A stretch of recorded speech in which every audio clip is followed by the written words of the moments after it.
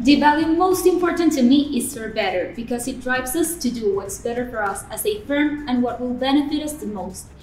It means that we're thinking beyond our day to day and we are recognizing the context uh, that we are in and working together to actually achieve the singular goal of growth and impact through the work that we do with our clients and internally as well.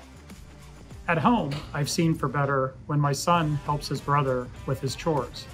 At KPMG, it might be making someone's day a little bit easier when they're feeling overwhelmed. I can really feel like everyone working here is treating this firm as a big family and living by and really believing these values that the firm holds to work together to make this place better.